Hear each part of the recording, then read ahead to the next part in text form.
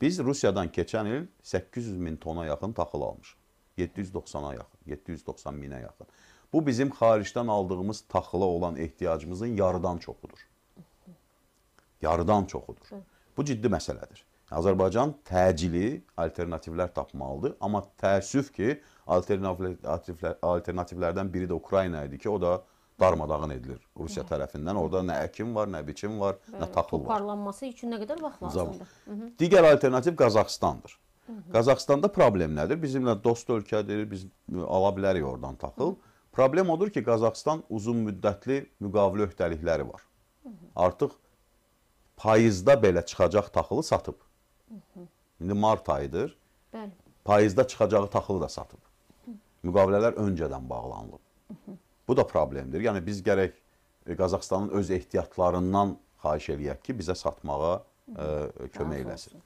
Digər alternativ Kanadadır. Məsələn, dünyanın taxıl ə, anbarlarından biri sayılır, amma çox bahadır. Çox bahadır. Həm logistikası bahadır, yol xərci bahadır, taxılın özü bahadır. Çünki şər, ə, Şimali Avropa bazarı daha baha bazardır. Kanada orada satır, Amerikaya satır, Karib ölkələrinə satır, Avropaya satır. Çünki ora daha bahalı bazardır.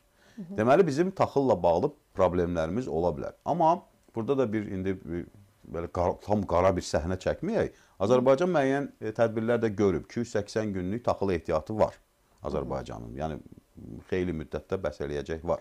Amma əlavə taxıl alınmasına ehtiyac yaranacaq. İkinci məsələ digər kənd təsərrüfatı məhsullarıdır. Əsasən də bitki yağları. Bəli. Bitki yağları dünya bazarında Rusiya və Ukrayna bitki yağlarının 60%-ni satırdı az qala, 58%-ə yaxın. Böyük rəqəmdir Böyük də. rəqəm, bazarın böyük. Böyük bir. Ukrayna artıq sata bilmir, bitdi. Doğru. Yəni istehsal dayanıb. Əsasən də şərqində idi yeri gəlmişkən. Hücumlar oldu. Hücumların ən çox olduğu Mariupol ətrafında idi ya, e, yağ zavodları, o bitki yağ zavodları. Ukrayna dayandırıb, Rusiya da dayandırır, satışları dayandırır. Təsəvvür eləyin müharibənin bu qırğının, müsibətin bu dövründə Ərdoğanın Putindən xahişlərindən biri bilirsiniz də nə oldu? Bizə bir 20 gəmi heç olmasa bitki yağı göndərin. Bizdə vəziyyət gərgindir də. Məsələn, Günəbaxan və Qarğıdalı yağı. Və bu, bu haqq hesabda 4 Bəli. dənə gəmi artıq alıb Bəli. digərləri. Çünki Günəbaxan yağı, ümumiyyətlə bitki yağı da e, tankerlərdə daşınır, satılır neft kimi. Yəni orada elədir.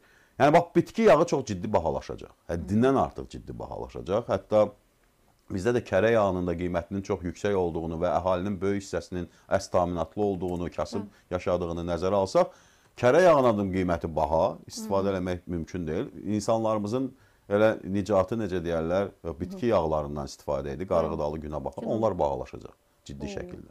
Digəri tikinti materiallarıdır. Bizim Bəli, asıllığımız Taxta şalban məsələsi deyirlər bazarda artıq həm də qiymətlər indidən qalxıb bilirsiniz yəqin ki. iki Dünəndən lap sürətlə lap qalxıb. sürətlə qalxıb. Ə, Mən sizə deyim ki, bəzi tikinti materialları segmentində biz Rusiyadan 100% aslıyıq. Məsələn, taxta şalbanda 100% aslıyıq. Çünki başqa mənbə yoxdur. Mənbə yox, alternativ. Bö- Hətta bizim ətrafımızda yoxdur. E, Türkmənistan səhra, orada meşə də yoxdur ki, taxtası olsun. Qazaxıstan çöllük, orada meşə də yoxdur ki, taxtası olsun. Türkiyənin özünə lazımdır. Özü Rusiyadan alırdı həmişə. Gürcüstan Rusiyadan alırdı. Yəni bizim başqa alternativ mənbəyimiz yoxdur. Yeganə mənbə Avropada Finlandiyadır.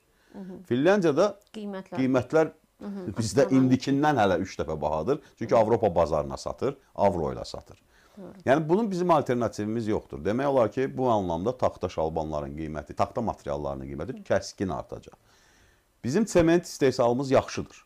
Özümüzün var sement e, zavodlarımız. Bu e, bu özümüzü demək olar ki, təmin eləyirik. Çox cüzi hissəsini biz xaricdən alırdıq. Amma bunun xam malı var. O xam mal Rusiyadan, Astraxan vilayətindən gəlirdi. Yəni o olmasa, o xam mal olmasa sement olmur. Doğru. Bax onun da ə, idxalına qadağa qoysalar və yaxud da məhdudlaşdırmalar olsa, sementlə də bağlı problemlər yaşanacaq və qiymətin artması mümkündür. Tikinti materiallarının qiymətinin artması nə deməkdir? Evlərin, mənzillərin qiymətinin artması deməkdir. Ərzaq qıtlığı nə deməkdir? Ərzağın qiymətinin artması deməkdir. Yeri gəlmişkən biz 2 milyarda yaxın Rusiyadan mal alırdıq. Bunun 1 milyarddan çoxu sırf ərzaq məhsulları idi. Doğru, doğru. Ukraynadan 600 milyon dollarlıq mal alırdıq. Bunun 400 milyondan çoxu ərzaq məhsulları idi. Belarusiyadan da alırdıq. Yeri gəlmişkən Belarusiyadan da problemlər yaşanır. Çünki pul köçürmələrdə problemlər var artıq və dünən bir tanış dedi ki, Belarus dükanları Bakıda da var, yəqin Bəli, görmüsüz. bəli, marketlər var. Dolu şeydir,